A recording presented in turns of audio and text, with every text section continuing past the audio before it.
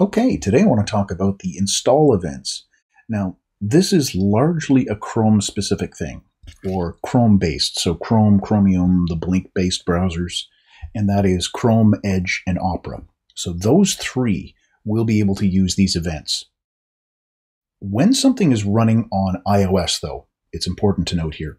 Um, Apple insists that everything that runs on iOS, all the browsers that run on iOS, use Safari WebKit for their JavaScript engine.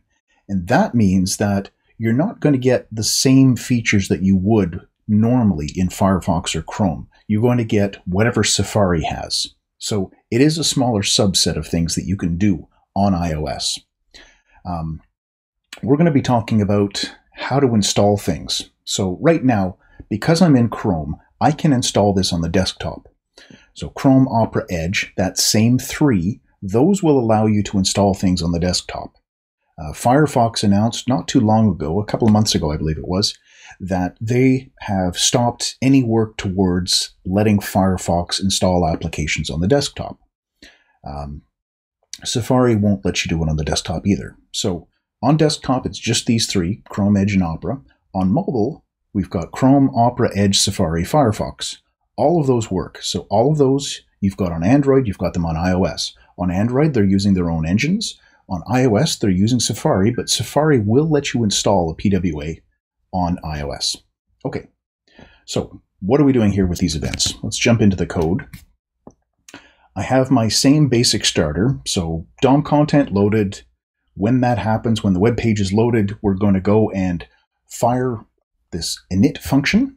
So up inside of here, this is where I'm checking to see if service worker exists. If it does, then I'm going to install. I'm going to add a listener for the message uh, coming back from the service worker. That's done. Those are regular PWA things.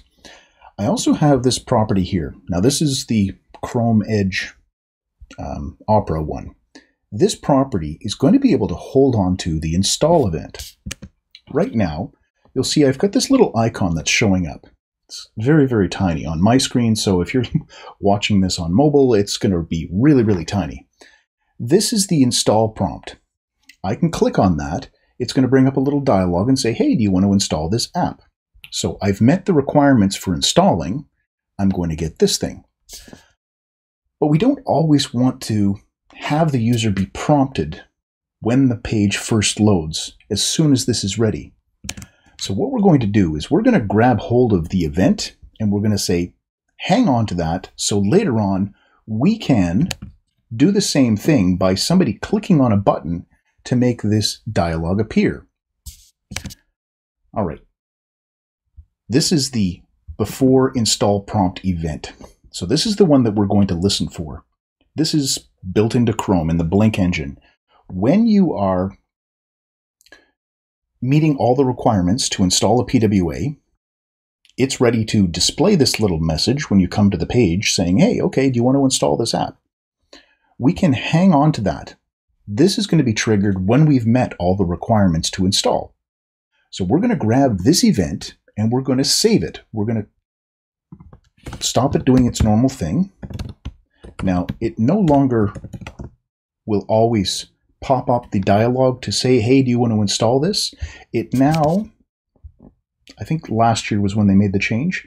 I can't remember which version of uh, Chrome it was, but now it just displays this little icon to say, hey, you can install this if you want. And I think it expands and displays a little message saying that you can install this, you're allowed to.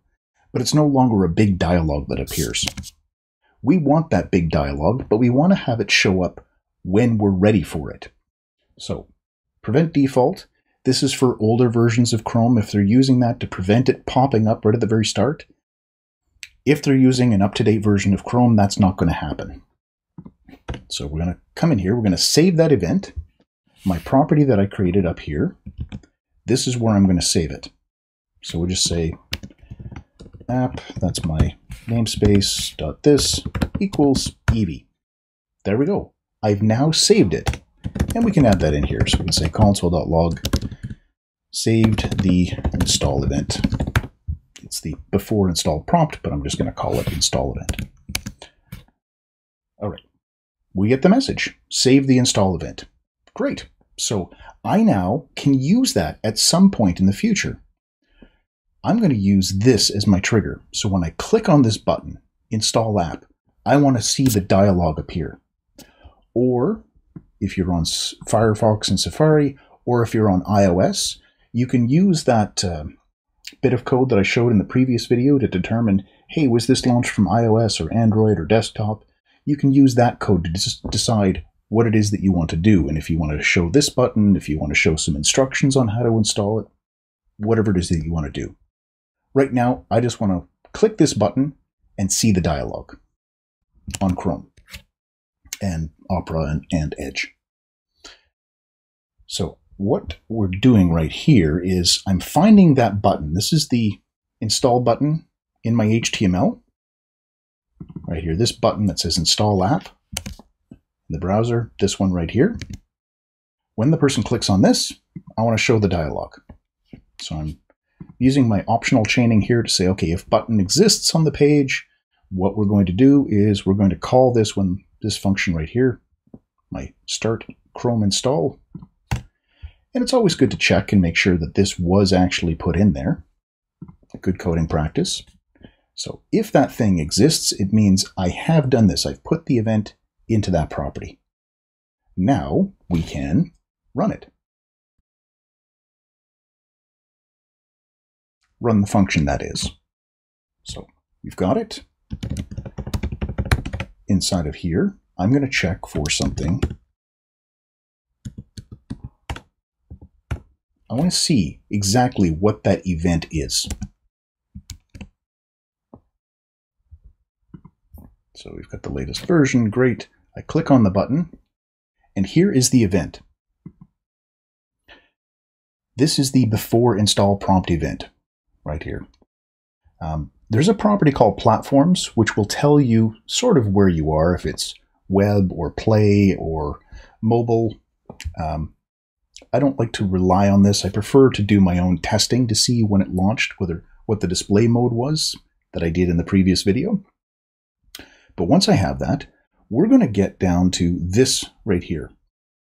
There is a property called user choice, which is a promise. This right here, this user choice property is the thing that comes back when the person clicks on install or ignore. So the dialog that would appear here when we click on this, that's going to have the two choices. And this is the promise for whenever they've clicked on one of those two buttons. So it will wait until, until they've actually clicked on those things. There's a method in here as well called prompt. And I think that may, yeah, here it is right here. So it's in the prototype. There's the prompt method. This is the one that we're going to call. This method is going to make the dialog appear. So we can say app.deferred install. That is our event object, and we're going to call its prompt method. That is going to make our dialog appear. So refresh the page, click on the button, and there it is. This is the dialog, and we'll see this on Android mobile for Chrome, Edge, Opera, or on desktop for Chrome, Edge, and Opera. So we get this dialog, and here's the two buttons, cancel and install. Those are the ones that we want to get the answer back from. That user choice property is going to have a value of accepted or canceled. So we will check for this. We'll say app.deferred install user choice. This is our property and it returns a promise to us. So we'll chain on a then. This is the answer. This is whatever they've clicked on. So whatever their choice is, when this function runs, if the choice object, it has a property inside of it called outcome.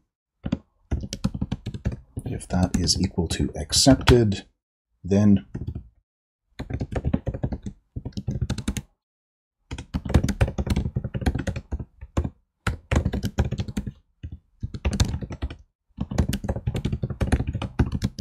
and if they cancel, we're talking about having to go into the permissions to let them try it again. So we have the latest one. Make sure, refresh that. Install. It appears. And I'm going to hit cancel here. So they canceled. Now, if I do this again, there we go. Now I can click on install, and this will actually do the installation of the app. There we go. And here's our PWA that's now running as its own standalone app.